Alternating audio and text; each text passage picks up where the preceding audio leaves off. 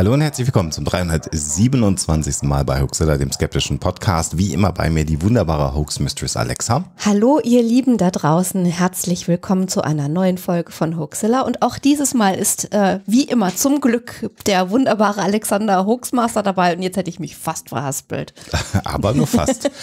äh, wir haben in dieser Episode äh, uns mal wieder entschlossen, ein Update zu geben. So einige Themen sind in den vergangenen Wochen zum Teil oder auch schon eher wieder aufgeplöppt. Wir kommentieren, warum wir genau ausgerechnet die drei alten Episoden uns ausgesucht haben, um Ihnen ein Update zu verpassen. Das haben wir im letzten Jahr das erste Mal gemacht mit drei äh, Episoden und das ist aus unserer Wahrnehmung und was das Feedback anging auch relativ gut angekommen bei euch. Und bei diesen drei Themen, die wir heute hier in der Sendung haben, gibt's jeweils auch was Neues zu sagen. Und vielleicht, naja, machen wir das gleich, das machen wir gleich im Ordnen dann ein, ob es bahnbrechende News sind oder andere News. Äh, und äh, vorher hat Alexa eine wirklich wahnwitzige äh, Geschichte rausgesucht. Ja. Und da würde mich natürlich interessieren, was ihr dazu denkt. Aber gut, das werde ich nicht erfahren. Aber wir hören erstmal in deine Geschichte rein.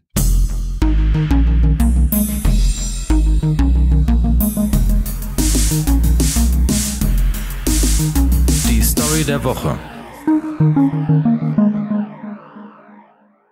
Ich bin gerade so ein bisschen abgelenkt, weil ich die ganze Zeit denke, die Katze, die direkt neben dem Mischpult sitzt, stellt uns stumm. ich glaube, sie lässt das. Mal also wenn einer von uns gleich einfach nicht mehr zu hören ist, Wisst dann Bescheid. wisset, dass äh, jemand redet, verzweifelt, aber die Katze auf den Tasten rumdrückt. Aber das ist nicht die Story. Äh, nee. Äh, in der Story geht es um eine Frau, die im Urlaub ist, soweit so unverdächtig. Und diese Frau bekommt von ihrer Nachbarin einen Anruf, der da besagt, sag mal, hast du jemanden bestellt, der dein Haus abreißen soll? Und die natürlich äh, sehr, sehr überraschte Reaktion ist, äh, nee, habe ich nicht, wieso? Äh, ja, da ist aber jemand, der macht das gerade. Und dann ging das so ein bisschen hin und her. Äh, die Nachbarin hatte sich vorher schon ein bisschen gewundert bei diesen Leuten, die da das Haus abgerissen haben, wurde dann aber etwas rüde weggeschickt. Und dann kam schließlich ein Verwandter der Hausbesitzerin und hat nach der Erlaubnis gefragt, nach dem Auftrag, dem schriftlichen. Und da haben die dann äh, tatsächlich doch mal drauf geguckt von der Firma, von der Abrissfirma und haben dann festgestellt, dass sie an der falschen Adresse sind. Aber das Haus war zu dem Zeitpunkt leider schon weg. Es war alles zu spät. Und dann das kam sie also aus dem Urlaub wieder und hatte dann nur noch so einen Haufen Bretter. Das ist wirklich eine Albtraumgeschichte. Ja, das ist nicht schön. Wenn sie denn stimmen genau. würde. Ähm, erfahrt ihr am Ende der Sendung. Überlegt mal, was ihr dazu sagen würdet.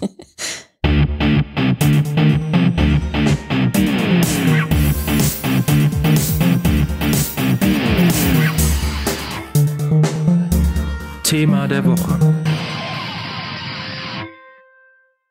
Ja, für diese Episode haben wir uns die Themen äh, Amelia Earhart rausgesucht. Damit fangen wir auch gleich an und sagen euch, warum wir das rausgesucht haben. Dann wollen wir nochmal über interessante Fakten in Bezug auf die Titanic sprechen. Da gibt's auch so einiges, ähm, was interessant ist, was man vielleicht nicht vermutet hätte. Das äh, hat ein Historiker und Wissenschaftskommunikator sich rausgesucht. Ein Autor, der sich sehr intensiv damit befasst hat. Und das fanden wir so spannend, dass wir gesagt haben, das kann man mhm. nochmal ergänzen zur Episode. Und äh, zum äh, Unglück am äh, heute ja sogenannten Djatlov mhm. Pass wollen wir auch noch mal was sagen, nämlich die Frage, was ist da genau passiert?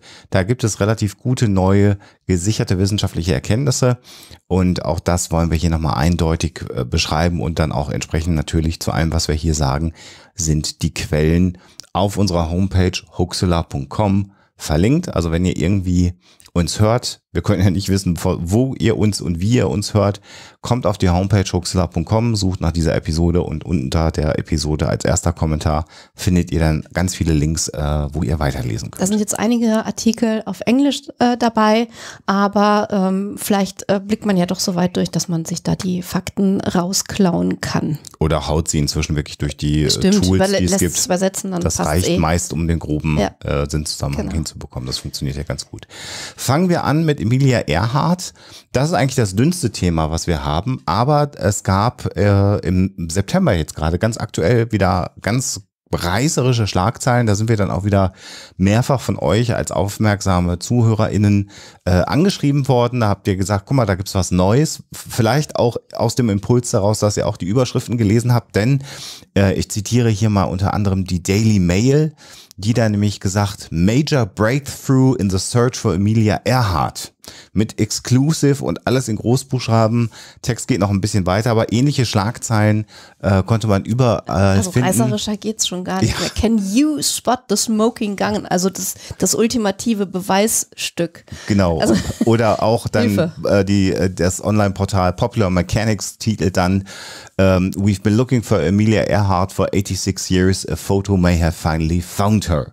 Das ist natürlich erstmal irgendwie elektrisierend. Man denkt, äh, oh je.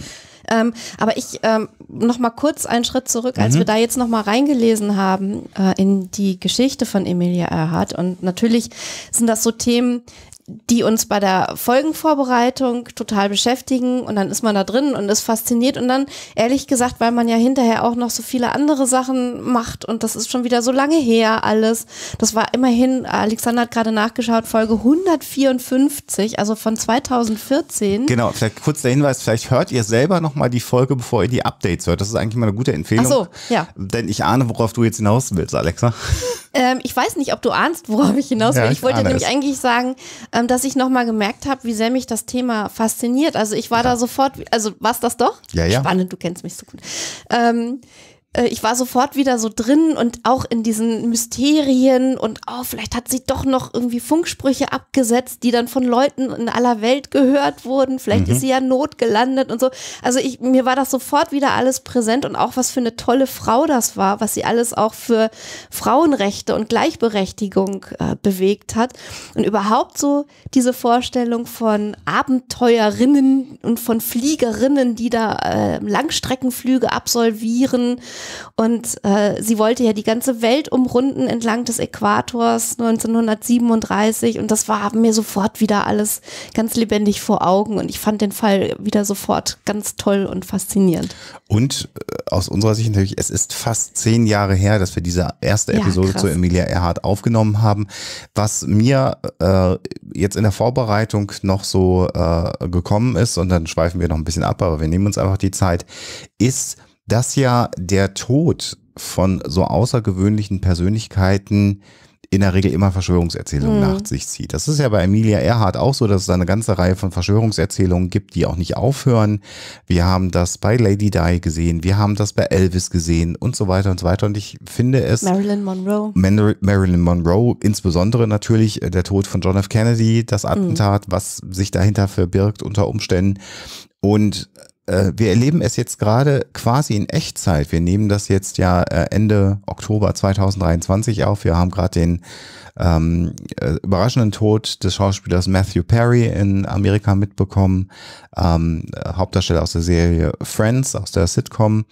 Und schon jetzt, wie ein, zwei, drei Tage nach seinem Tod, Ja. insbesondere finde ich da schlimm TikTok, äh, beginnen Verschwörungserzählungen. Also da gibt es dann Leute, die zu trauriger Musik und natürlich zu den Drohnenaufnahmen des Flug, äh, des, des äh, Hauses, die es jetzt natürlich Oh, gibt, weil wir das machen können in den Medien, das haben die sich dann gegrabt, eine äh, gruselige Musik drunter gelegt und gesagt, es ist bekannt geworden, dass der Laptop verschwunden ist und es sind 344 Files von diesem Laptops äh, äh, gelöscht worden. Wir wissen nicht, was da drin stand. Vielleicht dann doch die Geschichte um Hollywood und die Eliten, die wo ich dann so denke, es ist wirklich nicht nur pietätslos, sondern es ist auch wirklich erstaunlich, wie schnell solche Geschichten, und das ist natürlich durch nichts faktisch belegt. Es gibt noch nicht mal die Aussage, dass man da einen Laptop mitgefunden hat aus dem Haus werden solche Geschichten gesponnen.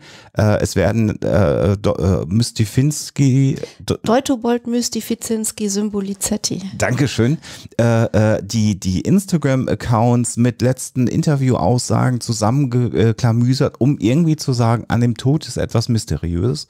Vielleicht ist da was Mysteriöses dran. Aber an keiner Stelle weiß man äh, etwas über, den, über die genauen Umstände seines Todes, sondern sofort werden Dinge zusammengesetzt, weil wir Muster deuten wollen, weil wir eigene Geschichten erfinden Weil wir wollen, Informationsvakuum nicht ertragen weil können. wir, weil wir nicht dabei waren. Wir haben es ja nicht mitgekriegt. Du hast es ja erwähnt, dass das äh, vor allen Dingen ähm, bei TikTok jetzt äh, auch ein Thema ist. Äh, ich finde, da wird halt einfach auf verwerflichste Art und Weise mit solchen äh, Ereignissen Clickbait generiert das und es, geht, es geht ja um nichts anderes als um Aufmerksamkeit Und Geld Klicks, verdienen. Geld verdienen, genau, weil die natürlich äh, beteiligt werden und je mehr Views und äh, Klicks und so weiter, desto mehr Geld. Also das ist wirklich widerlichstes Betragen unterster Schublade, ähm, den äh, Tod einer bekannten Persönlichkeit überhaupt den, und den Tod eines Menschen auf äh, eine solche Weise auszuschlachten. Jetzt, wo du das gerade erzählt hast, kann ich auch äh, Aufrufe von KollegInnen von Matthew Perry besser einordnen, die wirklich dringend darum äh, bitten, erstens ihn in Frieden ruhen zu lassen, zweitens sich mehr damit zu beschäftigen, was sein Leben Ja. äh, für die Menschen bedeutet hat, äh, anstatt sich ständig äh, irgendwie drüber Gedanken zu machen, wie die genauen Umstände seines Todes gewesen will sind. an der Stelle natürlich auch nicht die amerikanische Yellow Press oder so in Schutz nehmen. Nee. Also die ja auch dieses Haus belagern, diese Drohnenaufnahmen sind ja von JournalistInnen gemacht worden. Also das ist auch alles irgendwie grenzwertig, finde zumindest ich persönlich. Äh, aber wie es dann aufbereitet wird, weil dieses Bildmaterial plötzlich da ist. Und Ja. dann kann man ja selber sozusagen als Nachrichtensprecher auf TikTok seine eigenen Geschichten erzählen. Und mein Aufruf, und das ist sonst immer dein Aufruf, den schnappe ich mir jetzt mal an dieser Stelle wäre, teilt es bitte nicht. Ja, Verbreitet es ja. nicht, nicht mal um euch darüber aufzuregen und Richtig. den Leuten zu zeigen, worüber ihr euch da genau gerade aufregt. Macht es einfach nicht. Genau, also das wäre nochmal ganz wichtig. Wir haben es jetzt hier einmal erwähnt, weil es mich gerade natürlich beschäftigt und weil es ja bei Emilia Earhart äh, bis heute weitergeht. Und ich bin mir sehr sicher, dass auch Matthew Perry mit seiner schicksalhaften Geschichte und seiner, äh, seiner Alkoholsucht und seiner Medikamentenabhängigkeit auch eine Projektionsfläche natürlich bieten wird. Äh, und das wird auch nicht weggehen. Also insofern können wir uns gerne nochmal in zehn Jahren bei einem Real Life oder so dann darüber unterhalten, äh, was ich hier gerade gesagt habe. Und das war ein Riesenexkurs, aber es hat mich jetzt gerade einfach mal beschäftigt. Kommen wir zurück zu den Schlagzeilen, Alexa. Haben wir denn jetzt die Smoking Gun gefunden? Wissen wir definitiv, was das Schicksal von Emilia Earhart ist? Definitiv jein. also, ähm, also hinter diesen riesigen bombastischen Schlagzeilen verbergen sich äh, letzten Endes zwei Informationen. Zum einen ist ein Beweisstück, was lange Zeit ähm, durch die Presse und durch die einschlägigen Medien geisterte, rausgeflogen Mhm. aus dem Pool der äh, Beweisstücke, nämlich ein Metallstück, ein, ein, ein Panel, das man auf der ehemals Gardner Island genannten Insel ähm, Nika Muroro, Niku. Ni, Ni, Niku Maroro, Entschuldigung, ich habe da solche Probleme entdeckt hat. Ähm, auf dieser Insel hat man eben dieses äh, Stück entdeckt und da hat man auch so Schriftzeichen äh, gefunden, die man lange Zeit nicht entziffern konnte. Und man hatte so ein bisschen die Hoffnung, dass das halt äh, ein Teil des Flugzeugs ist, das Emilia Earhart äh, bei ihrem letzten Flug geflogen ist. Und das wäre dann äh, ein guter Beleg dafür gewesen, dass sie dort ähm, notlanden konnte oder wie auch immer da äh, gecrashed ist oder wie auch immer und dann entweder dort verstorben ist oder vielleicht noch eine Weile sogar äh, überlebt hat mit ihrem Navigator zusammen. Mhm. Wie dem auch sei, man hat das dann entziffert, hat aber dann äh, rausgefunden, dass äh, es zu einem anderen Flugzeugtyp gehörte und zu einer Maschine, die wohl im Zweiten Weltkrieg dort äh, abgestürzt ist. Und man muss noch mal wissen, Gardner Island ähm, war bis in die 60er Jahre hinein eh ein, ein Stützpunkt. Da war also, äh, da waren Menschen, die sich da aufgehalten haben. Und äh, insofern ist diese ganze Theorie rund um diese Insel, ähm, das, das müsst ihr noch mal in der alten Folge vielleicht nachhören, ohnehin immer so ein bisschen wackelig gewesen. Äh, Gardner Island ist ja, äh, da, oder jetzt versuche ich auch noch einmal den Namen zu sagen, Niki, Nico Maroro ist ja ins äh, Visier gerückt, weil man dort ja dann auch Überreste eines Feuers gefunden Ja, ja. hat und man hat verschiedene, äh, man hat sogar, glaube ich, einen Damenschuh, wenn ich das richtig erinnere, Mehrere gefunden. Skeletteile, Skelettteile. Make-up. Make-up. Und man hat das dann untersucht und wollte anhand einer forensischen Analyse mit Genetik äh, beweisen, dass es sich um die Knochen einer Frau handelt. Das ist nicht gelungen. Das Material konnte man nicht auswerten. Äh, und äh, das war aber immer alles so eine Verdichtung auf Nico Maroro, äh, dass da es sein könnte.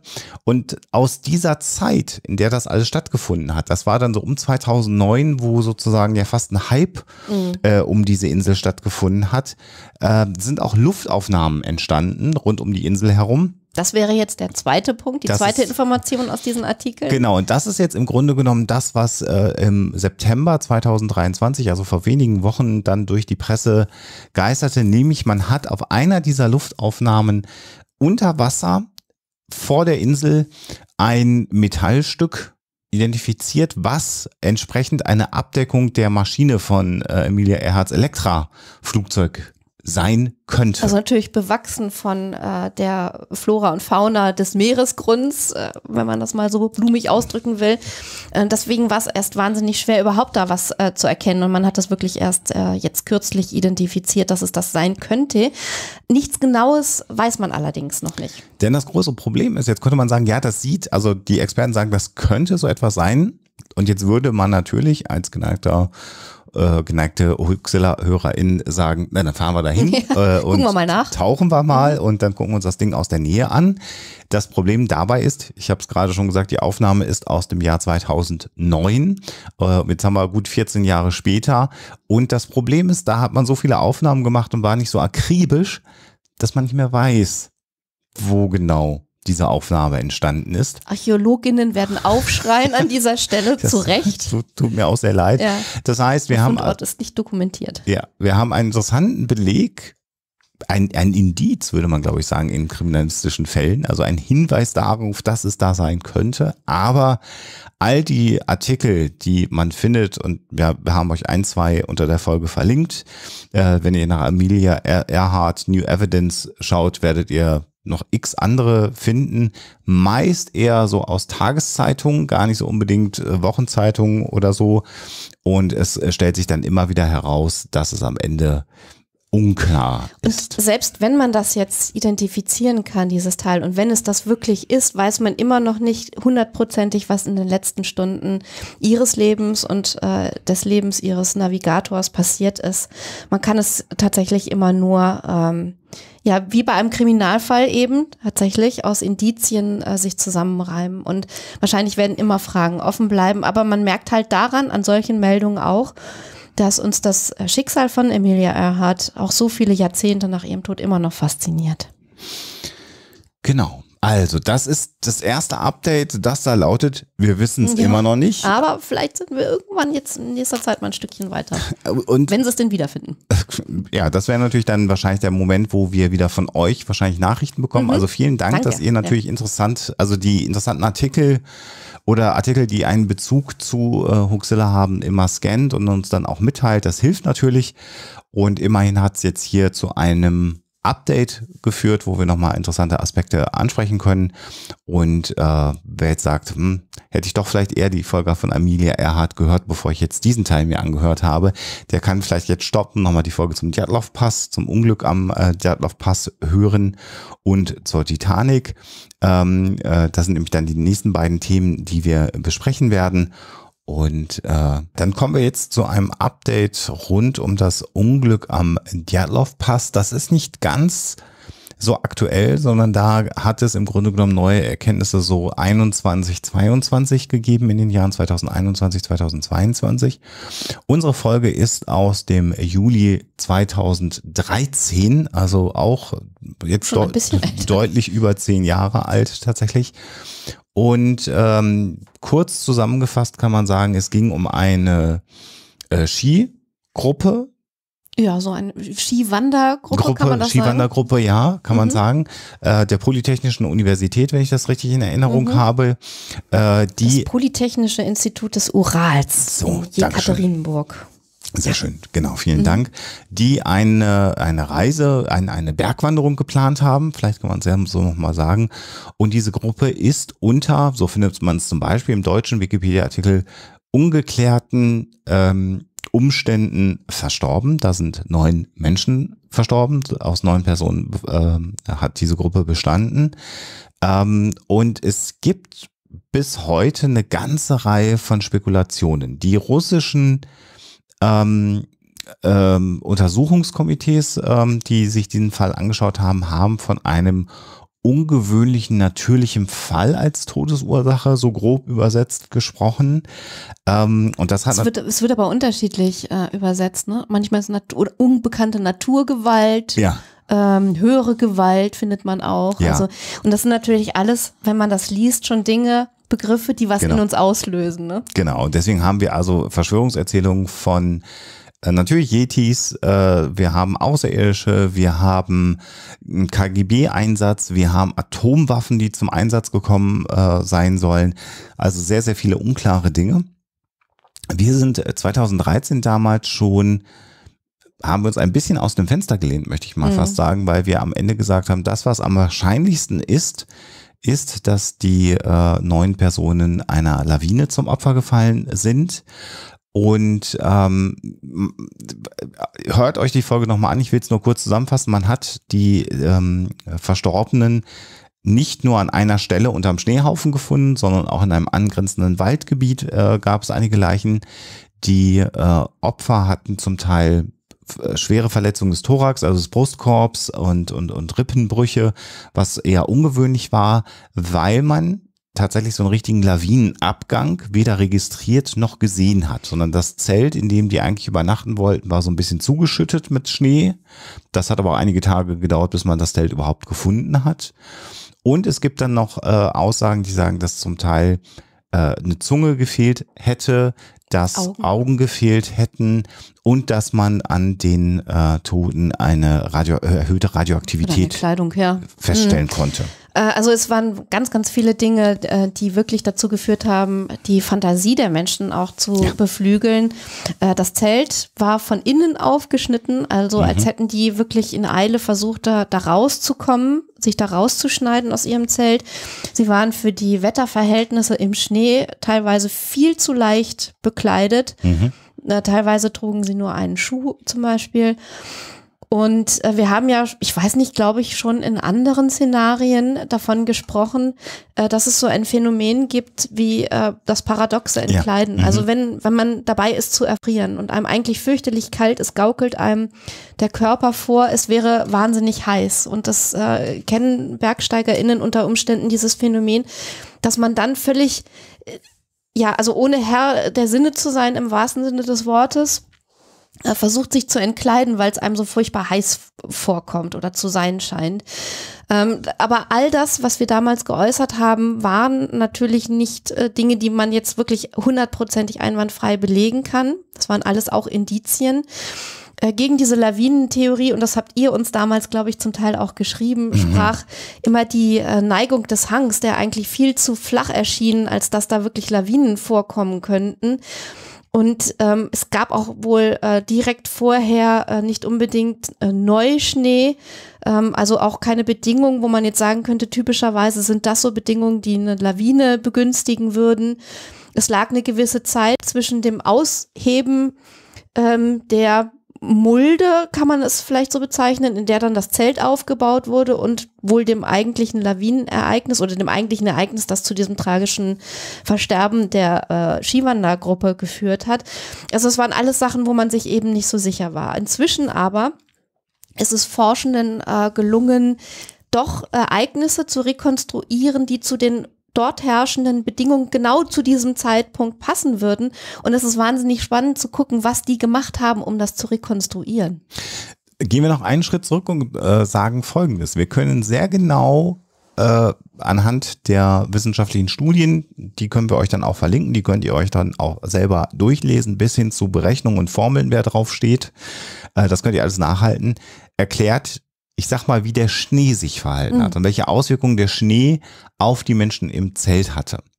Ähm, alles weitere ist nicht Forschungsgegenstand der beiden Personen, die wir gleich nennen werden, gewesen. Das heißt, sie sagen, wir wissen nicht, warum äh, zum Beispiel da eine Zunge gefehlt hat. Oder wir wissen nicht, warum Augen gefehlt haben. Sie haben eine Vermutung, dass es zum Beispiel Wildfraß sein könnte. Ich glaube, das haben wir damals auch schon in den Raum gestellt.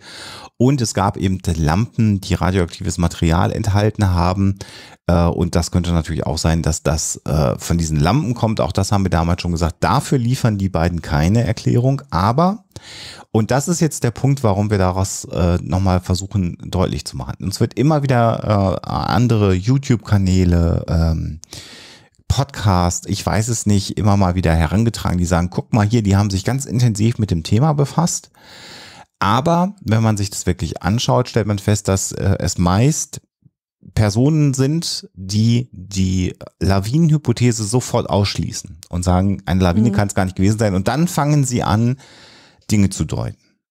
Und das funktioniert eben nicht, weil Weil man schon eine Grundannahme hat, mit der man in die Ermittlungen hineingeht, wenn man so will. Genau, und weil wir seit 2021, spätestens dann äh, seit 2022, ähm, seit März 22, sehr genau wissen, dass es eine Lawine gewesen ist, die das Zelt getroffen hat. Daran besteht eigentlich kein Grund mehr zu zweifeln.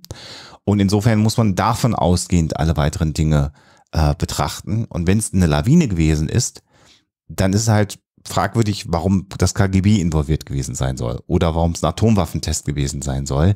Denn, und jetzt kommen wir mal, äh, gehen wir mal ein bisschen in die Details.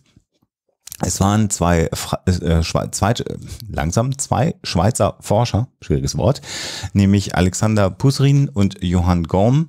Ich hoffe, dass ich es richtig ausspreche, äh, von der ETH und der EFPL, äh, zwei Hochschulen in äh, der Schweiz, die sich tatsächlich mit Lawinen beschäftigen, Lawinenforscher sind und die haben sich dieses Thema dann auch mal angeschaut, weil sie gesagt haben, hm, könnte es denn sein, dass das, was dort passiert ist, eine Lawine ist? Und zwar waren sie relativ schnell äh, auf dem Punkt, dass sie gesagt haben, es könnte eine Schneebrettlawine gewesen sein, eine besondere Form äh, von Lawine.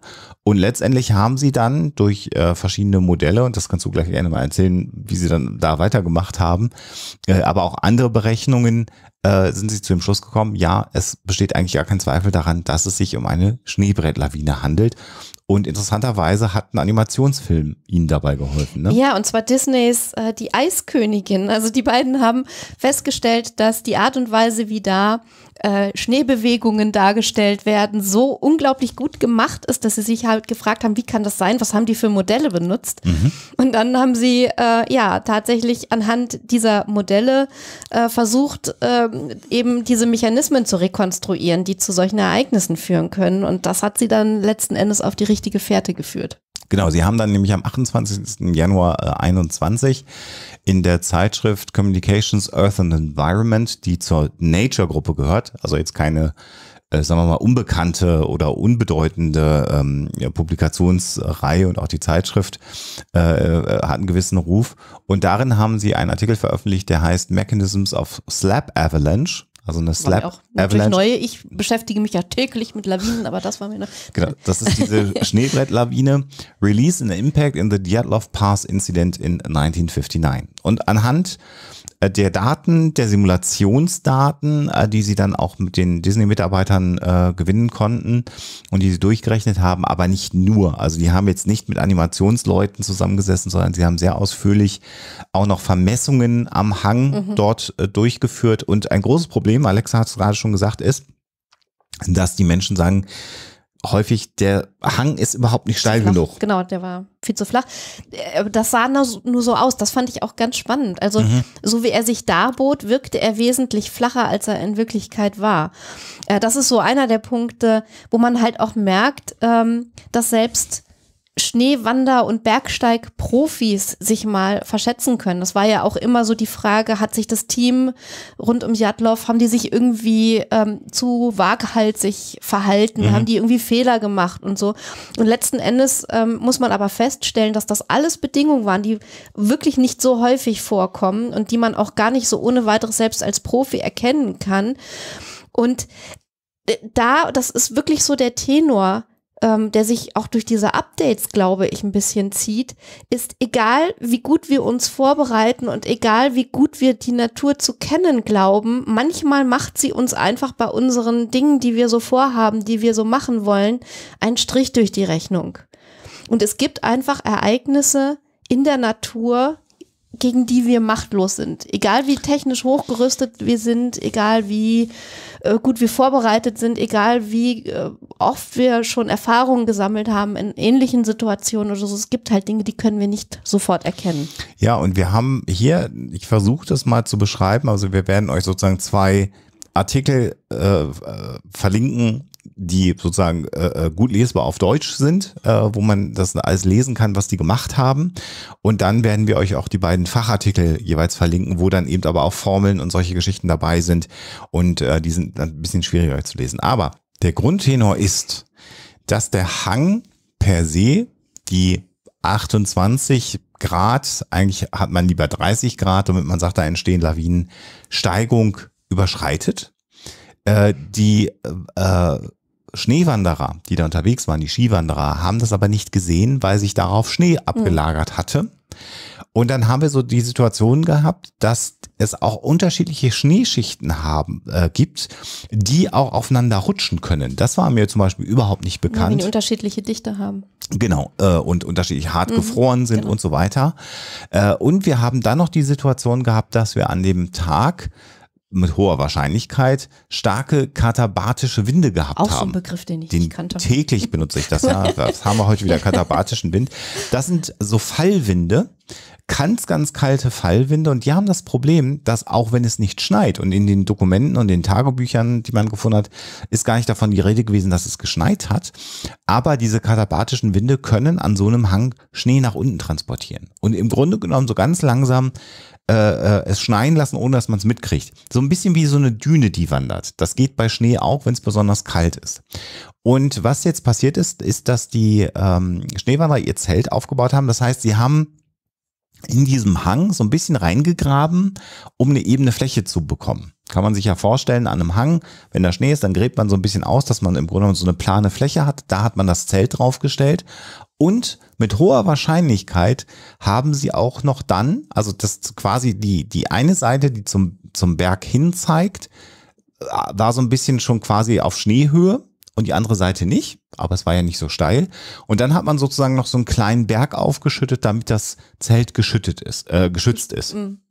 Äh, und das hat jetzt aber dazu geführt, und das ist das ähm, äh, Tückische an diesen Schneebrettlawinen, äh, dass im Grunde genommen in dem Moment, wo sie diese ebene Fläche gemacht haben und dieses Schneebrett, was da drauf lag, auf dem Hang gestört haben, sozusagen da schon eine Erschütterung stattgefunden hat. Und heute weiß man, das kann Stunden dauern, bis dann überhaupt was ins Rutschen kommt. Und was hinzugekommen ist, sind eben diese starken Winde, die gekommen haben, äh, gekommen sind, die auch immer noch weiter Schnee abgelagert haben, sozusagen auf dieses abgebrochene Schneebrett jetzt. Ab, Schneebrett abgebrochen, Zelt, Schneebrett geht weiter. Und das hat, und das haben die Simulationen nachgewiesen, dazu geführt, dass eben ein Teil des Hangs, so, ein- so ein kleines Stückchen Ja, wirklich nicht groß. abgerutscht ist und auf das Zelt gerutscht ist. Ähm, die schweren Verletzungen haben sie nachgewiesen, dass so Rippenbrüche und solche Geschichten stattfinden können, weil die äh, Wanderer auf ihren Skiern geschlafen haben. Die haben sich sozusagen so und ich Pritschen Vogel gebaut. habe erst gedacht, äh, auf ihren Skiern schlafen heißt, die schnallen sie nicht ab. Und ich habe mich die ganze Zeit gefragt, warum haben sie ihre Skier nicht abgeschnallt? Nein, sie haben sie auf den Boden Ja. gelegt, natürlich wie so eine okay, Pritsche. jetzt seid ihr Zeuge meiner Peinlichkeit. Und das hat, äh, hat man dann nachgewiesen anhand von äh, Untersuchungen, die vor vielen Jahren General Motors gemacht hat. Die haben tatsächlich äh, zur Anfangszeit von Crashtests tatsächlich mit Verstorbenen äh, Tests gemacht und haben da festgestellt, unter welchen Bedingungen innere Verletzungen entstehen an echten Menschen. Das war halt, bevor man Crashtest-Dummies hatte. Und das konnte man jetzt übertragen auf Personen, die im Zelt liegen und mit einer gewissen Geschwindigkeit und einem gewissen Druck, ähm, ja, sozusagen Druck auf ihren Körper bekommen und sie liegen auf was Hartem, was überhaupt nicht nachgibt, nämlich die äh, Skier. Das war sehr türkisch. Das hat zu den Knochenbrüchen, zu den Schädelverletzungen geführt, die ja immer wieder angesprochen werden. Warum denn bei einer Lawine Knochenbrüche und Schädelverletzungen äh, entstehen? Brüche, mhm. Genau. Das lag daran, dass die eben so als Pritschen ihre Skier benutzt haben mit hoher Wahrscheinlichkeit. Ähm, Insofern war das eine, eine Studie 2001 veröffentlicht, die dann interessanterweise zu sehr, sehr viel äh, Aufsehen geführt hat und die Leute haben das äh, natürlich intensiv diskutiert, ob das stimmen könnte. Und ich sage es nochmal, da sind wirklich Formeln drin, Diagramme drin, da haben Vermessungen stattgefunden, äh, topografische Messungen. Das ist jetzt nicht so einfach so kurz, wie wir es sagen. Kann man sich sehr, sehr gerne durchlesen, wenn man da Interesse dran hat. Und das hat aber dazu geführt, dass es dann weiter Interesse gab an, an diesem Fall. Und es hat dann nochmal zwei Expeditionen gegeben äh, zum Djatlov-Pass und eine Dokumentation ist gedreht worden. Und da sind auch Drohnenaufnahmen entstanden in dem Gebiet. Und interessanterweise hat man dann bei diesen Expeditionen und insbesondere auch bei diesen Drohnenaufnahmen äh, festgestellt, guck mal, da war auch so eine Schneebrettlawine äh, die stattgefunden hat. Da hat man so einen kleinen Teil des Hang gesehen, der so eingebrochen ist, gar nicht so aufmerksam, also gar nicht so aufregend im Grunde genommen. Und eigentlich etwas, was man vielleicht auch übersehen hätte und gesagt hätte, das ist ein Schatten von einer Wolke. Weil man jetzt natürlich aber dieses Paper kannte und genauer hingeschaut hat, hat man gesehen, oh, das passiert offensichtlich äh, häufiger.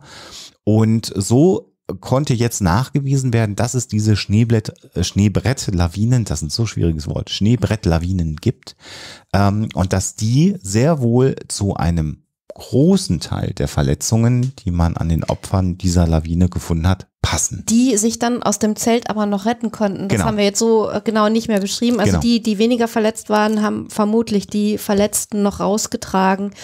Aber letzten Endes sind dann leider alle umgekommen. Und Es war unfassbar es war ein kalt. tragischer Unfall. Ja. Genau, sie waren verletzt, es war unfassbar kalt. Dann haben wir diese paradoxe Entkleidung, wo man das Gefühl hat, es wird einem warm, was natürlich nicht zuträglich ist, wenn es wirklich sehr, sehr kalt ist. Oh, das musste halt wirklich schnell gehen. Also ist, ja, wie auch immer. Genau. Und insofern äh, erklärt das zumindest sehr, sehr gut vielleicht 80, 85 Prozent der Vorgänge rund um den Djatlov Pass.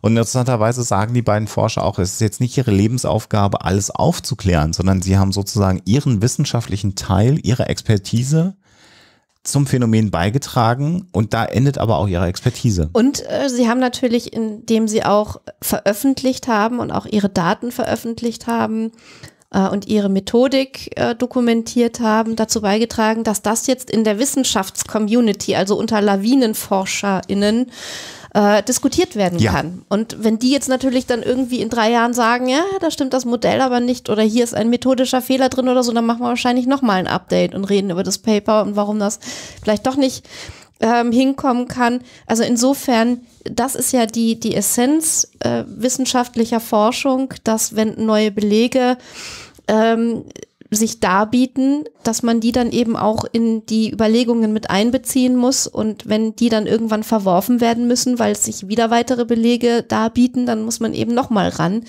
Äh, und so ist unter Umständen das Thema eben äh, nicht wirklich zu Ende, sondern es wird vielleicht in ein paar Jahren neue Informationen geben. Genau. Und insofern äh, ist eben die B- Debatte äh, erstmal wissenschaftlich relativ gesichert abgeschlossen. Äh, wir wissen nicht Das alles. ist, der, das ist der derzeitige Forschungsstand. Genau, und wir können also jetzt aber sagen, wer immer noch Videos veröffentlicht, Blogartikel schreibt, ich habe keine Ahnung, Podcasts macht und diesen Aspekt nicht berücksichtigt, also diese Artikel nicht mit berücksichtigt. Und wir haben es damals schon vermutet, weil wir gesagt haben, das könnte eben so ein Lawinenereignis gewesen sein.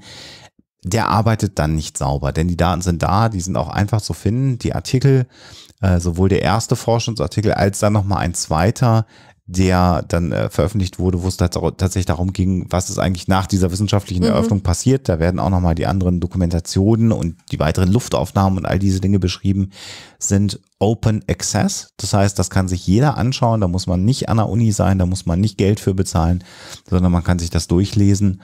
Und ich fand es ganz interessant, dass gerade bei dem zweiten wissenschaftlichen Artikel, der dann auch wieder in äh, Communi- Communications, Earth and Environment entstanden ist, gibt es sozusagen den Hinweis darauf, dass der Artikel überarbeitet worden ist.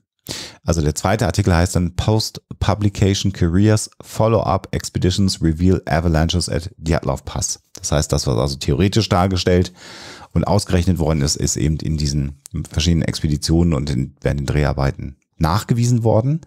Und da gibt es dann den Hinweis, dass der Artikel äh, geupdatet worden ist. Und da habe ich gedacht, ach spannend, guck mal, da sind vielleicht nochmal neue wissenschaftliche Ergebnisse hinzugekommen. Das kann man nämlich dann sehen.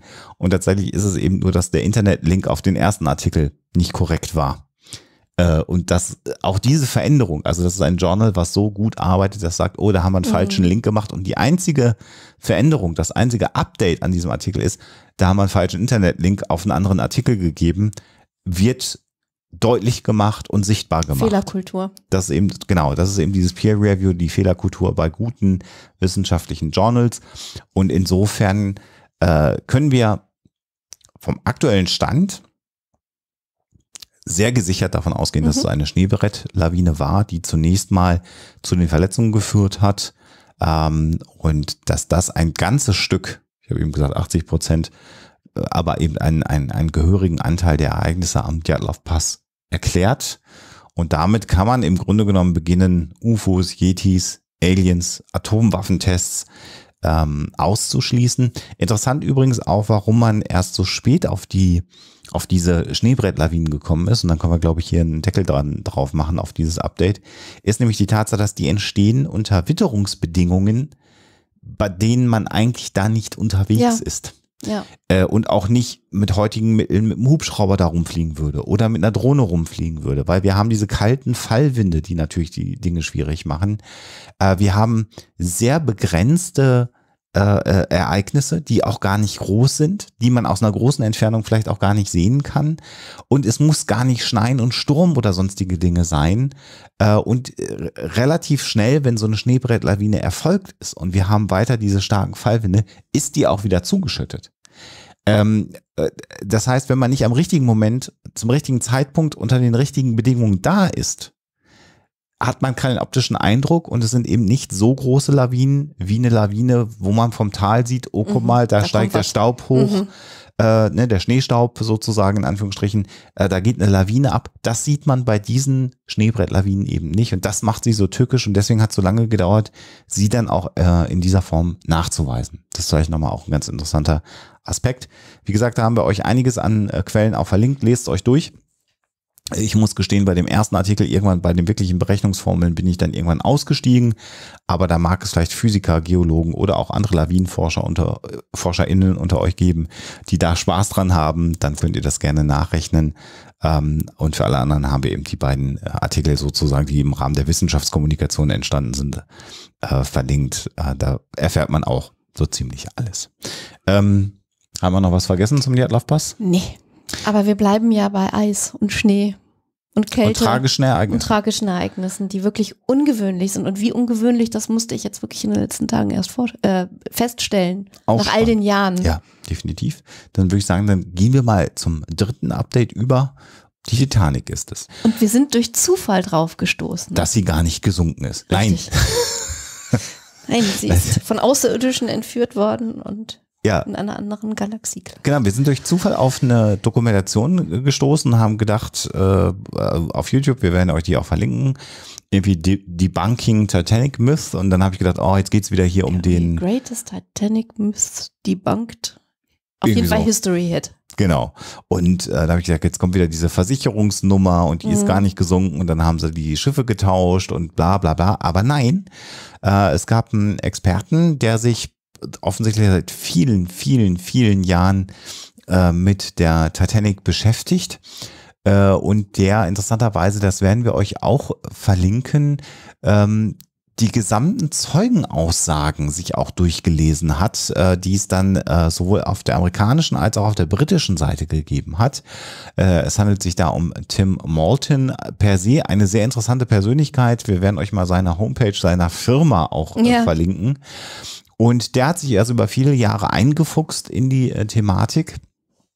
Äh, obwohl er, so wie wir es recherchiert haben, zumindest jetzt erstmal kein klassischer äh, Historiker ist. Ich glaube, der hat nicht Geschichte Nee. studiert. Aber er hat sich wirklich über Jahre hinweg intensiv mit den Quellen auseinandergesetzt und ähm, er, er hält sich eigentlich sehr, sehr gut an die damaligen Augenzeugenberichte und vor allen Dingen eben, wie du gesagt hast, an die Untersuchungsberichte sowohl amerikanischer als auch britischer Seite. Und er hat ähm, in dieser kurzen Dokumentation, in diesem Interview, das wir bei History Hit äh, gesehen haben, diesen Wälzer in der Hand. Ja. Und das ist wirklich, ich möchte sagen, so drei, vier Telefonbücher oder so vom Format her, von der Dicke her. Da hat er sich komplett ähm, durchgewälzt, hat dann ähm, einen Archibald Grace, äh, hat er irgendwie den, den Augenzeugenbericht äh, noch durchgeforstet. Ja.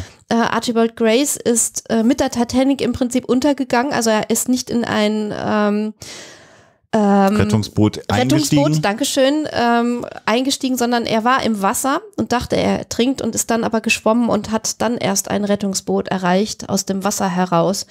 Und der hat aufgeschrieben, wie er das erlebt hat und er hat, äh, der Tim Martin hat das Buch von Lightoller, von Charles Lightoller ähm, auch noch durchgearbeitet. Also das sind die Quellen, die er benutzt hat. Also er war, was die Quellen angeht, wirklich ganz, ganz nah dran an den Ereignissen und er sagt auch an einer Stelle, na, die beste Art und Weise, sich dem zu nähern, ist halt zu gucken, was haben denn die Leute, die damals damit zu tun hatten mit diesem Ereignis, darüber ausgesagt. Und wir werden euch, wenn euch das interessiert und ihr die nächsten Monate nichts vorhabt, Jahre. äh, das Titanic Inquiry oder Inquiry Report Projekt äh, ähm, verlinken. Da habt ihr zum einen alle aufgezeichneten Aussagen der 18-tägigen amerikanischen Untersuchung und äh, der 36-tägigen britischen Untersuchung. Und ihr habt auch noch die Aussagen äh, der Lusitania und der Empress of Ireland dort verlinkt. Also all das ist auf dieser Seite, das könnt ihr alles nachlesen. Empress of Ireland war ja auch eine Episode von uns, also auch das sammeln die inzwischen. Und wer da Interesse dran hat, kann sich das durchlesen. Und das hat eben äh, Tim Malton getan.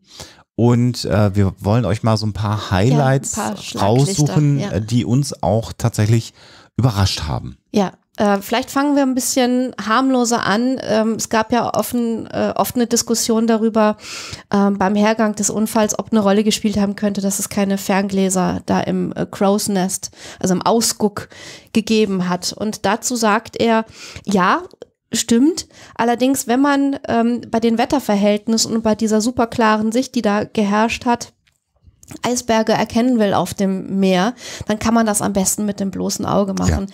Denn man schränkt seine, sein, den Radius der Sicht ja schon ein, wenn man äh, eben diese Ferngläser benutzt und ähm, hat eine viel bessere und viel breiter aufgestellte Sicht. Äh, Achse, wenn man eben mit bloßem Auge versucht, äh, Dinge zu erkennen. Und er sagt sogar, dass ein Fernglas, also wenn man wirklich äh, ein Fernglas benutzt hätte, um da einen Eisberg ausfindig zu machen, das sogar den ganzen Prozess der Meldung unter Umständen verlangsamt hätte, weil man dann erst äh, durch das Fernglas geguckt hätte, ja, ist es denn ein Eisberg? Ja, nein. Aber so hat man einfach gerade, hat man was gesehen und hat sofort die Glocke geläutet und äh, gesagt, da ist was äh, im Argen, da müssen wir Alarm geben. Vielleicht bleiben wir tatsächlich mal bei einem der Aspekte, äh, wenn wir schon über die äh, ähm, Sicht- Sichtverhältnisse, das ist das Wort, was ich gesucht habe, die Sichtverhältnisse ähm, sprechen wollen. Äh, etwas, was mich wirklich hochgradig fasziniert hat, ist die Tatsache, dass wir im Grunde genommen das Unglück, das ist Maltins These am Ende, ähm, entstanden ist, weil es äh, völlig kalte, klare, ruhige Luft über dem Atlantik die Sicht gegeben war hat zu gut, wenn man so will. im Grunde genommen. Und das klingt jetzt erstmal sehr, sehr überraschend. Was er aber beschreibt, ist, dass es einen Effekt gibt, der im Grunde genommen äh, gegenläufig zu dem äh, ist, was wir bei einer Fata Morgana sehen. Nämlich die Tatsache, dass wenn wir in der Wüste sind, wir irgendwann den Himmel dass da das äh, äh, Licht vom Boden, also nach oben reflektiert wird und wir dann die Idee haben oder die Wahrnehmung haben, dass der Gebrochen. Himmel genau nach oben gebrochen wird, dass der Himmel über dem Sand schwebt und das sieht dann aus wie Wasser und dann glaubt man, dass da eben diese berühmten Fata Morganas, also irgendwie was zu trinken es dort gäbe. Und das liegt eben daran, dass bei Hitze Licht nach oben gebrochen wird und gestreut wird. Und bei dieser extremen Kälte, die wir offensichtlich in dieser schicksalhaften Nacht gehabt haben und Klarheit und kein Wind äh, und ganz ruhiges Wasser, sagt er, dass dieser Effekt umgedreht Genau, also funktioniert. entlang der Erdkrümmung. Genau, wird das Licht gestreut und gebrochen. Und er sagt, das Problem dabei ist, dass man zwar unglaublich weit schauen konnte. Das Problem war aber, dass das Licht so gestreut war, dass das, was man gesehen hat, im Grunde genommen nicht mehr von einem Eisberg zu unterscheiden war. Denn äh, alles hatte so einen weißen Glanz sozusagen über dem Wasser. Und damit war es Ferngläser hin oder her, extrem schwierig, einen Eisberg zu unterscheiden, weil es eben so einen großen Lichtbrechungseffekt, Streuungseffekt gegeben hat. Und das hat am Ende dazu geführt, dass man den ähm, äh, Eisberg, den, den türkischen, zu spät erkannt hat. Genau, und äh, da können wir eigentlich auch schon an dieser Stelle ähm, zu weiteren Themen kommen. Also gab es ein zu kleines Ruder, war sie schwer manövrierbar. Also das war definitiv nicht der Fall. Ja. Sie war unfassbar gut gebaut. Also er beschreibt an einer Stelle, dass man sie äh, also quasi an drei Stellen oder an zwei Stellen in, in drei Teile dann insgesamt hätte teilen können und die Teile hätten einzeln noch schwimmen können. Also so war sie gebaut. Das einzige Problem war eben, und das hatten wir ja damals in der Folge auch so beschrieben, dass dieser, dieser große Schaden, der wirklich entlang 200 ähm, Fuß, glaube ich, äh, Länge der Titanic äh, an Steuerbord aufgetreten ist, ähm, dafür gesorgt hat, dass eben fünf Kammern geflutet wurden und mit vier hätte sie noch ähm, sozusagen auf dem Wasser bleiben können, mit fünf eben nicht mehr. Also sie war wendig, sie war toll gebaut. Äh, der Kapitän äh, Smith war nicht zu, zu sorglos. Also er war zwar dafür bekannt, auch gerne mal schnell zu fahren und vor allen Dingen die Hafeneinfahrt in New York so recht schmissig zu gestalten. Ähm, aber es haben wirklich viele, viele Kapitäne ausgesagt, äh, die meinten, dass, also wir hätten es einfach nicht anders gemacht als er unter, ähm, unter den Verhältnissen. Genau, und ähm, die äh, Kammern, die du angesprochen hast, also das Schiff war unterteilt in mehrere Kammern, die auch untereinander abtrennbar mhm. waren. Mhm. Und es hätten eben, wie du schon beschrieben hast, vier Kammern vorlaufen können, aber es scheint eine fünfte beschädigt worden zu sein. Wir wissen ja heute, es gibt ja ganz neue aktuelle 3D-Aufnahmen, auch ein neues 3D-Modell äh, der Titanic auf dem, auf dem Meeresgrund. Das ist ja gerade vor einigen Wochen auch durch die, durch die Medien gegangen und wir werden sicherlich irgendwann irgendeine Form von Aufbereitung, sei es eine Dokumentation oder vielleicht sogar äh, irgendwas mit Virtual Reality. Da hält sich die Firma, die diese Aufnahmen gemacht hat, ja noch ein bisschen bedeckt. Und da gibt es jetzt ja auch Stimmen, die sagen, das, was wir in der Folge damals äh, äh, zur Titanic als äh, Unglücksursache beschrieben haben, nämlich der Umstand, dass das Schiff an der Seite aufgerissen worden ist, das war übrigens Folge 84, sagen Ui. wir nochmal aus dem Jahr 2012, also zum 100-jährigen äh, Jubiläum dieses tragischen Unglücks haben wir damals die Folge gemacht, ähm, dass es vielleicht gar nicht so sehr die Seite gewesen ist, die aufgerissen mhm. worden ist, sondern eher so unten am Schiff ja. der Riss gewesen ist, eher so in Kielnähe. Das ist jetzt mit diesen neuen Aufnahmen so eine neue Hypothese, aber sei es drum. Beide spricht dafür, dass das Schiff auf einer zu langen Strecke äh, beschädigt worden ist, als dass eben dieses unsinkbare ähm, ja, beibehalten werden konnte. Was man aber feststellen kann tatsächlich, und das äh, äh, ist ja dann auch beschrieben an genügend Augenzeugenberichten, ist eben, dass sie nicht, wie es zum Beispiel bei modernen Schiffen schon mal passiert ist, äh, gekentert ist. Sie ist ja im Grunde genommen immer aufrecht im Wasser geblieben. Keine Schlagseite. Keine Schlagseite bekommen, was ja auch dafür spricht, dass es eben ein, ein sehr stabiles Schiff war, was, sagen wir mal, nicht leicht untergegangen ist, so kann man es ja mal formulieren. Ähm, und äh, interessant ist aber auch dabei, dass das äh, Gemälde, was viele von uns erkennen, mit diesem Hoch, das hat mich geprägt. Ich mm, weiß, stimmt, es geht mir auch so. Meine ja, Eltern hatten kind. dieses unfassbar dicke Buch Chronik des 20. Jahrhunderts, so ein Riesenwälzer, den man damals hatte, quasi die Wikipedia zum Rumschleppen mit 15 Kilo. Wenn man, wenn man einen riesen Rucksack hat. Und da gab es dann eben für das Jahr 1912, da gab es für jedes Jahr immer so ein paar Seiten und die besonderen Ereignisse. Und für das Jahr 1912 gab es eben dieses Gemälde, diese Nachtaufnahme der Titanic, die Leute im Rettungsboot und das Heck der Titanic hing halt ganz weit oben in der Luft. Äh, und dann gab es ja den Film äh, Titanic von äh, James Cameron, wo dann ja das Heck abbricht wo viele Leute dann ganz überrascht waren. So scheint es aber natürlich gewesen zu sein. So ist es auch beschrieben worden. Und interessant ist hier, äh, dass äh, hier auch nochmal Morton äh, beschreibt, dass das Heck im Grunde genommen dann sehr gut geschwommen ist. Das ist also abgeknickt wie so eine Banane, die abreißt, kann man das sich vielleicht vorstellen, und ist dann wieder zurückgefallen und aber wieder aufrecht im Wasser geblieben. Du hast gerade schon gesagt, man hätte das Schiff in drei Teile sägen können, so ein bisschen wie die Lego-Titanic. Experten kennen sich aus, die kann man ja auch in so drei Teile zerlegen. Und das Problem war aber, dass das Heck nicht komplett abgerissen ist mhm. vom Rest des Schiffs. Es hing halt noch dran. Rest dran. Und als dieser Rest, also als dann der Bug äh, untergegangen ist, äh, hat er dafür gesorgt, ja, eigentlich äh, am Heck zu ziehen. Ja. Und dabei ist ein so großer Schaden entstanden, dass das Heck eben dann auch gesunken ist. Äh, und dann natürlich zu dem Zeitpunkt sich sehr, sehr viele Menschen dorthin gerettet hatten, ist das äh, besonders tragisch. Die dachten, als es dann schwamm, oh, vielleicht haben wir ja eine Chance. Und dann ist es aber, weil eben der Rest des Schiffes beim Untergang dran gezogen hat, äh, auch untergegangen. Ähm, vielleicht kommen wir noch mal ganz kurz, weil ich das so so ähm, eklatant finde, noch mal auf den Kapitän zurück, der mhm. Captain mhm. Smith. Da haben wir ja schon eben gesagt, also er hat sich nicht falsch verhalten. Äh, ein Vorwurf, den man äh, trotzdem ab und zu mal gelesen hat, war, äh, dass er ähm, lieber mit den Passagieren gefeiert hat, statt auf der Brücke zu sein, dass er vielleicht sogar betrunken gewesen ist. Und ähm, Martin äh, beschreibt, ja, der hat mit den Passagieren PassagierInnen äh, zu Abend gegessen. Das war aber einige Stunden vor diesem Ereignis, äh, um 20 vor 12 am Abend.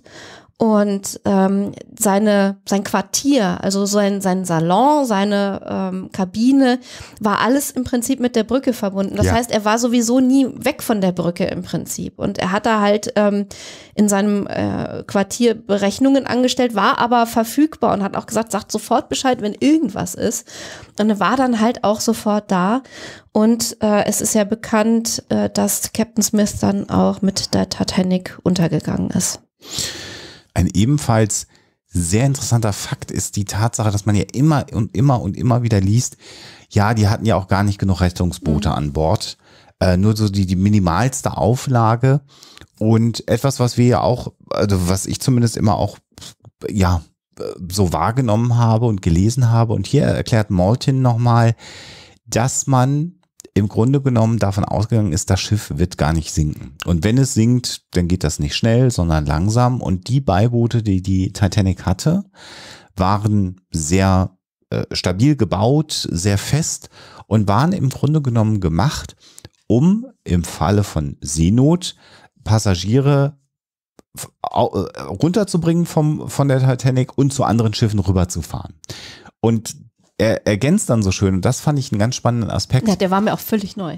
dass der Atlantik äh, im Jahr 1912 jetzt nicht irgendwie äh, äh, komplett leer Unendliche gewesen Weiten. genau, sondern dass das im Grunde genommen wie so eine Autobahn oder er sagt Railway, Ja, also Western Railway, also wirklich so eine Eisenbahnschiene. äh, war, wo, wo Schiffe ständig drauf waren und wo die im Grunde genommen die Schiffe nur durch den Sicherheitsabstand von 60 Meilen, den man festgelegt hat, voneinander getrennt war. Das heißt, Und das war, damit man im Nebel sozusagen nicht in, in Verlegenheit kommt zu kollidieren, wenn Genau. man da in entgegengesetzte Richtung unterwegs ist. Genau, weil so viel los ist. Das heißt, äh, im sehr unwahrscheinlichen Fall einer, einer Seenot ähm, hätte es also nur sein müssen, dass man 60 Meilen Menschen zum einem anderen Schiff bringt, äh, die da aussteigen und lässt und äh, hin und her fährt.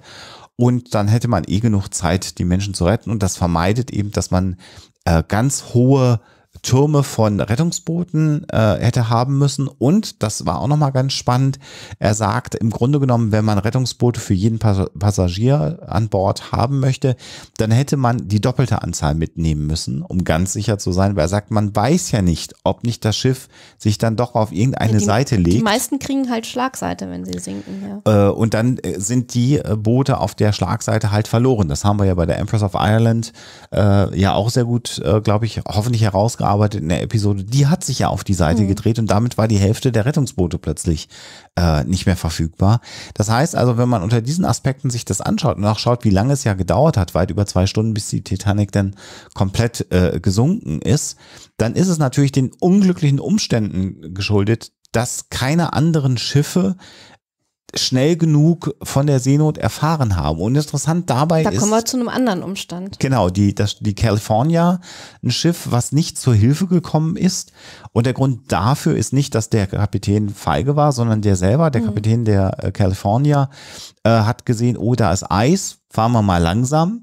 Und hat dann sozusagen die Titanic auch gesehen. Der Funker an Bord der California hatte eine 16-Stunden-Schicht. Der hat geschlafen, der war halt tot zu dem Zeitpunkt im Sinne von totenmüde, den konnte man auch nicht wecken. Und die hatten halt nur einen Funker an Bord. Da war dann sonst keiner, der die Funkgeräte bedienen konnte. Und die California hat dann angefangen, mit einer äh, Lampe zur Titanic rüber zu morsen. Das war so das, was dann üblich war, dass man eben mit Licht sich Morsesignale von Schiff zu Schiff zugewiesen hat. Und die Titanic hat das auch zurück zur California gemacht. Das Problem, was wir hier haben, ist hier, dass wieder der Effekt aufgetreten ist, den wir schon einmal beschrieben haben. Diese Morselampen, diese Morselichter haben es nicht geschafft, durch diese besonderen Witterungsbedingungen die Schiffe gegenseitig zu erreichen. Das, das fand, das hat mich so beeindruckt, als er das geschildert hat, weil die Wetterverhältnisse, die Witterungsverhältnisse im Prinzip ein Störsignal für das Morsen Ja. mit Lampe gewesen sind. Ja.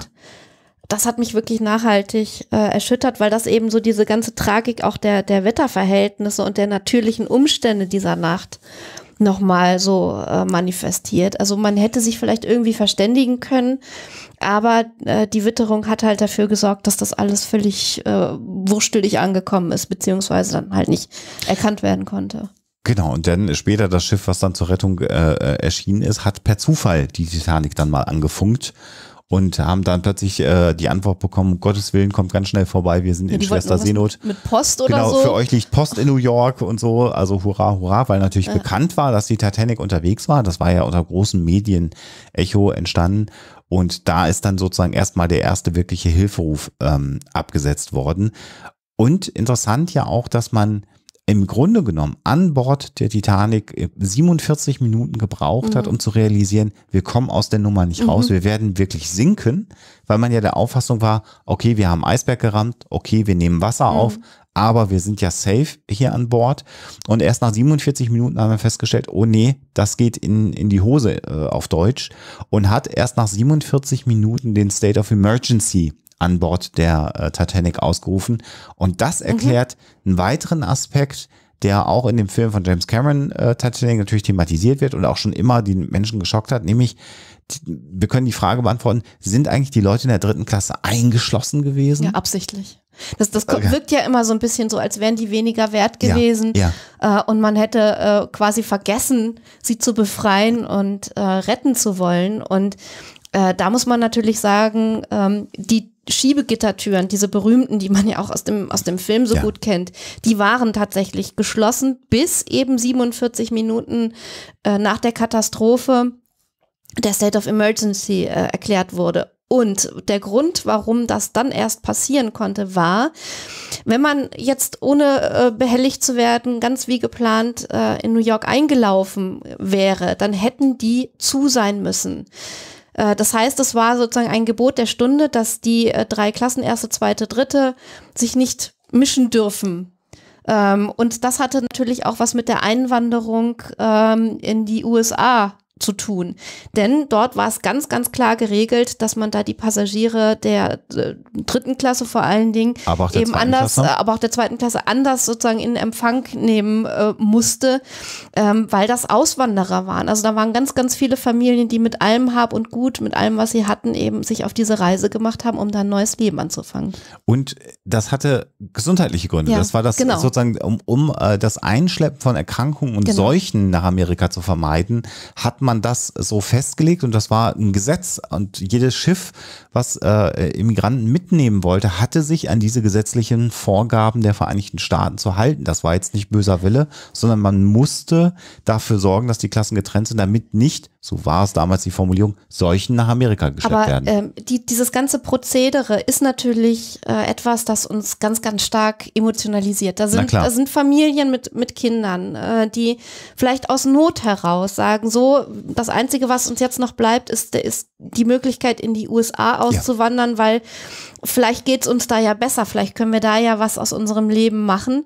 Und ich weiß nicht, wer von euch da draußen schon mal auf Ellis Island gewesen ist. Da kann man sich ja ähm, heute noch ähm, im Museum äh, ja die, die ganze Atmosphäre angucken, in der das so stattgefunden hat. Da sind ähm, Artefakte und ähm, Besitztümer von Menschen, die eben ausgewandert sind, äh, die man sich da angucken kann. Und man kriegt wirklich einen Eindruck davon, wie, wie tragisch das auch damals gewesen ist. Und natürlich spricht uns das emotional an. Und ähm, wenn wir dann überlegen, dass ähm, natürlich, sobald man wusste auf der Titanic, ähm, das geht schief, ähm, und dann eben der, der State of Emergency erklärt wurde, natürlich versucht hat, diese Türen aufzumachen und die Leute auch zu retten, dass da aber viele eben auch gesagt haben, wir, ich, ich verlasse meine Familie nicht, wir wollen zusammenbleiben. Und wenn man sich dann noch überlegt, in welchem Alter man damals als erwachsen Ja. galt und ähm, wer überhaupt noch unter Frauen und Kinder zuerst gefallen ist, äh, dann wird das sogar nachvollziehbar, dass viele gesagt haben, okay, meinen 13-jährigen Jungen, den lasse ich aber nicht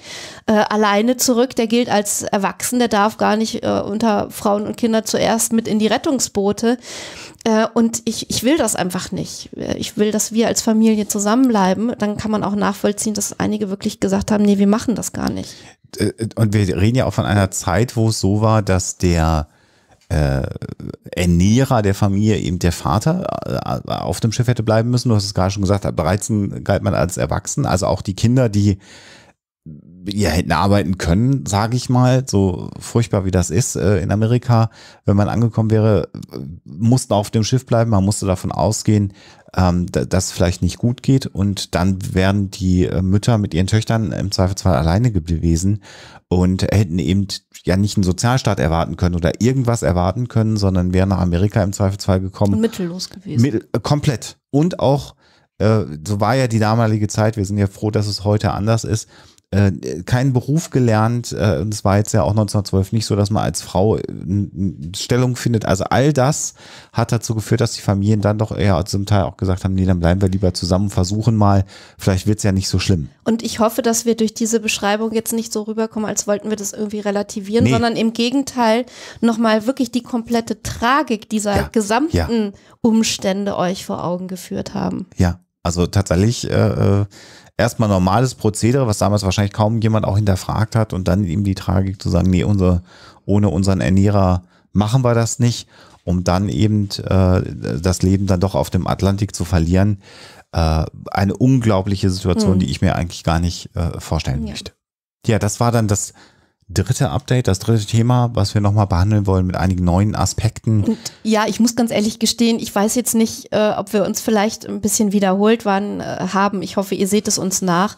Ähm, nur dieses Interview mit dem Tim Martin hat uns das nochmal so eindrücklich beschrieben und da waren auch Sachen dabei, die uns zumindest jetzt Jahre später schon überrascht haben ja. und das wollten wir mit euch teilen.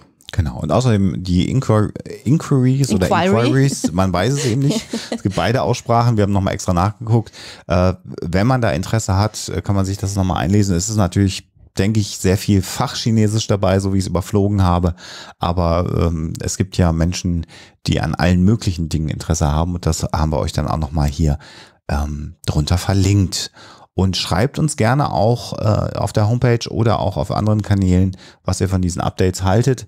Jetzt haben wir im Grunde genommen eins pro Jahr äh, gemacht bei drei Themen, die sich angeboten haben. Wir haben jetzt nicht vor, äh, die nächsten 20 Jahre nur noch Updates auf alte Folgen zu geben, aber irgendwie bot sich das jetzt ja. mal wieder anders zu tun. Und schreibt mal, ob ihr grundsätzlich äh, Interesse habt, wenn sich das anbietet, vielleicht so auch bei drei Themen, ähm, dass wir dann mal ein aktuelles Update zu einem Thema geben. Und jedes Update alleine hätte, glaube ich, nicht eine ganze Folge gefüllt. Das, äh, glaube ich, äh, oder sie wären sehr kurz und dann könnte man wieder sagen, guck mal, sind Folgen ausgefallen, jetzt machen sie drei Updates, dann haben sie drei Folgen wieder eingeholt. Das wollten wir auf jeden nee, Fall auch nicht machen. Auf jeden Fall nicht, genau.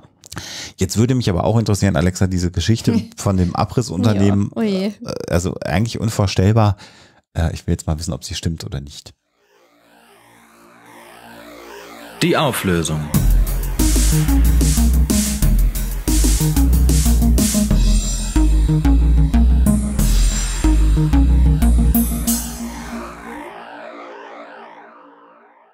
Die Geschichte mit der Frau aus Atlanta, die aus dem Urlaub wiederkommt, nur um ihr Haus abgerissen vorzufinden, weil man sich in der Adresse geirrt hat, stimmt. Äh, ja, also ich weiß nicht, wie ich es anders beschönigen soll. Ähm, das Einzige, was diese Geschichte noch mal ein bisschen anders gelagert macht, ist ein ähm, TV-Interview, was man bei äh, BBC nachgucken kann, wo die, diese betreffende Frau eben gefragt wird, ja, wie war denn das so? Und sie schildert es wirklich so, dass sie die, eben diesen Anruf der Nachbarin bekommen hat im Urlaub, die dann sagte, du, äh, da wird gerade euer Haus abgerissen.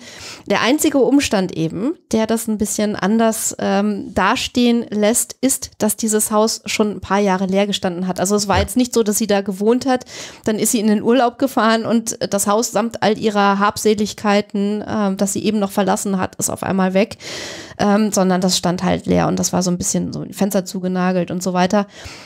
Ja, macht es natürlich nicht wirklich besser. Das darf einfach nicht passieren, dass eine Abrissfirma sich in der Adresse irrt und vor allen Dingen dann einfach sagt, okay, dann fahren wir jetzt einfach zu der anderen Adresse hin und machen da weiter und nichts passiert. Also die müssen sich ja zumindest irgendwie entschuldigen, müssen für den Schaden aufkommen. Es ist immerhin ein Haus, sie beschreibt es als ihr Family Home, äh, abgerissen worden, es ist weg. Das muss ja halt irgendwie, also sie muss ja irgendwie rekompensiert werden und äh, ja, die Firma ist da irgendwie verantwortlich dafür. Und ich habe, ähm, weil ich das erst in einem anderen Artikel gefunden, habe diese Geschichte, die nochmal gegoogelt äh, und da habe ich irgendwie Wrong, Wrong House Demolished oder sowas gegoogelt und da habe ich das erst nicht gefunden, weil das häufiger vorkommt, dieser Fall. Also, dass, dass sich da irgendwie in der Adresse geirrt wird und dann das falsche Haus abgerissen wird ist jetzt nicht nur da bei dieser Frau in Atlanta vorgekommen, das gibt es wohl öfter mal. Das finde ich auch so lustig, dass du im Grunde genommen da äh, Fact-Checking natürlich betreiben ja. wolltest und gesagt hast, das, kann ja eigentlich nicht stimmen und dann nicht nur festgestellt hast, dass dieser eine Fall stimmt, ja, sondern dass es eben ganz, ganz viele Fälle äh, gibt, wo das passiert ist. Das fand ich dann auch sehr, sehr beeindruckend. Ja, ich äh, weiß nicht, ob ich da wirklich drüber lachen soll. Entschuldigung. Ja, ja. ist halt doof. Ähm, ja, damit sind wir am Ende der 327. Episode. Wir werden wirklich, wir sagen das jedes Mal, aber wir versuchen jetzt mal äh, die nächste Folge auch nicht am Monatsende im November Ach, zu machen. Wieso? Eine, eine immer am letzten Tag des Monats. Das ist doch zumindest das verletzlich. Eine kann man ja sagen, aber ich würde es gerne ein bisschen ja. entzerren, weil es mich dann auch nicht so ja. doll stresst, weil äh, wie ihr ja wisst, Alexa fliegt nur noch zu den Aufnahmen ein. Stimmt, meine Limousine wartet auch schon da vor der Tür. Genau, und fährt dann irgendwo hin und ich darf hier den Rest, äh, was die Technik angeht, machen. Genau. Da ist die Rollenverteilung ja hier ganz eindeutig. ähm, äh, insofern, das äh, würde ich gerne äh, versuchen. Ich bin sehr, sehr froh, das merke ich die letzten Tage, ähm, und wer vielleicht letzte Woche Donnerstag, das interessiert in drei Jahren kein Schwein mehr, aber ich sag's trotzdem, ähm, alle bekloppt ähm, geschaut hat und wie ich da so beschrieben habe, wie das so mit Corona ist und, und Post-Covid äh, zu dem Zeitpunkt noch war, ist kein Unterschied mehr. Also äh, strukturiertes Denken auch länger am Stück, auch mal ein paar Stündchen klappt besser. Äh, insofern, da bin ich sehr froh, dass da hoffentlich nichts bis nur sehr wenig zurückbleibt und der Fortschritt auch deutlich ist.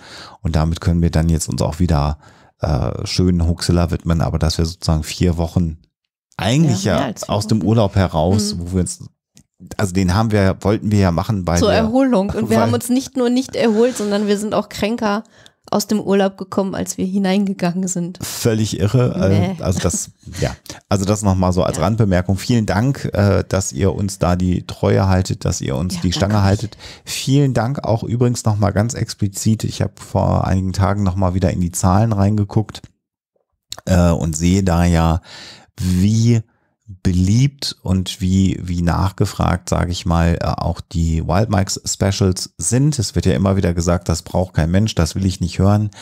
Ähm, wir können nur sagen, dass die Downloadzahlen da eine andere Sprache sprechen. Wir erreichen damit sehr, sehr viele Menschen, die sich das anhören, die das auch spannend finden.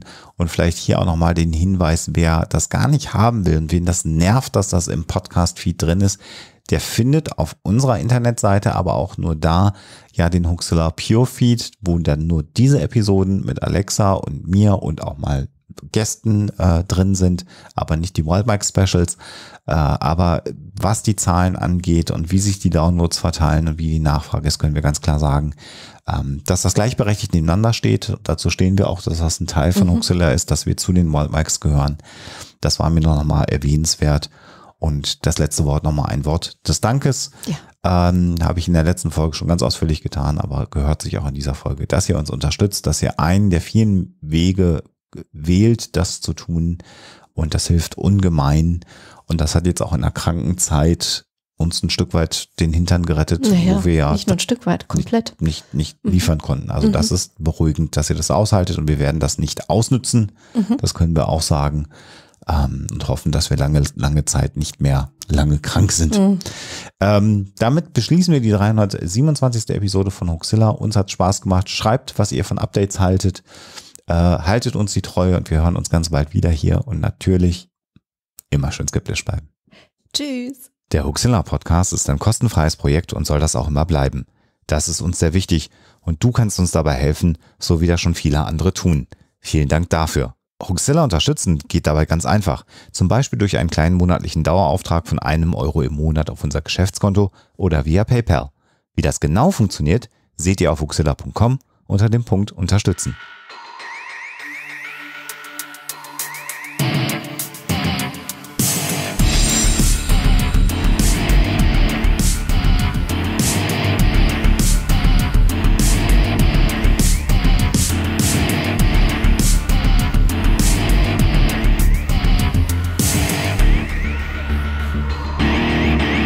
Schickt Fragen, Anmerkungen oder Feedback an info@huxilla.de Und wenn ihr mögt, dann bewertet uns doch bei iTunes oder einer der anderen Podcast-Seiten, die uns führen.